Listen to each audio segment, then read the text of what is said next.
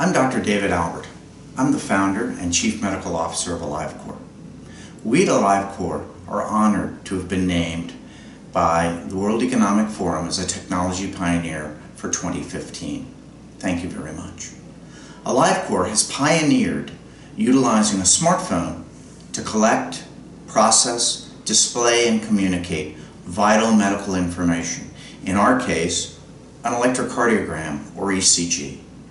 We have put the capability of measuring this critical medical data in the hands of physicians and patients literally all over the world. To record an electrocardiogram, it used to be you had to go to a doctor's office or a hospital.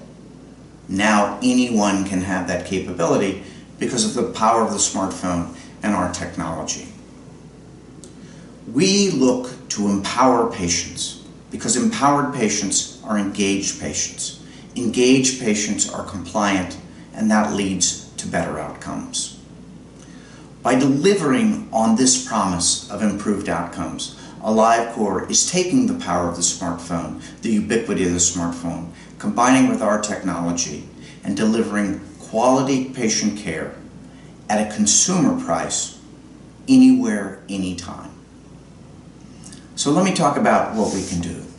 The AliveCor solution is both a consumer and a medical device, and it enables the improved access to care in the developing world, which is their number one problem, as well as the lowering of costs in the developed world, and that certainly is our problem. When the late Steve Jobs introduced the iPhone in 2007, he really did change everything.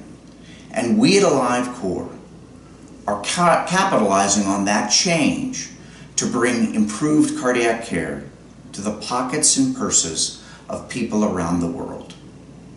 The shortest distance between two points is a straight line, and AliveCor's smartphone ECG creates the shortest, most direct path between a patient's heart and a physician's care. The essence of innovation is shortening times, lowering costs, and improving efficiency. And we at AliveCor are proud to say we do all three. Thank you very much.